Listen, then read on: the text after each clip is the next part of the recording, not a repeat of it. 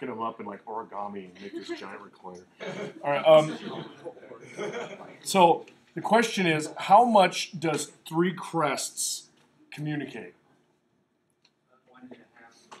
Okay, if you go from crest, so if we go one, two, three crests, how much is that? One, two. That's two waves, is it not? Okay, oh, hang on. Now, is there a way to show two waves while only seeing two crests? To have two complete wavelengths pass you while only seeing two crests. Starter.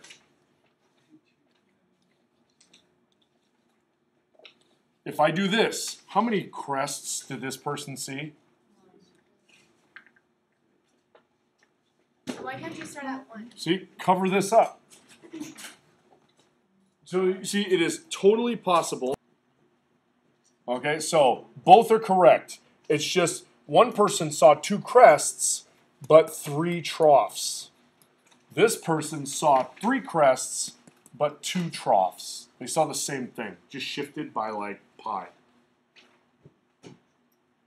Okay? Exactly.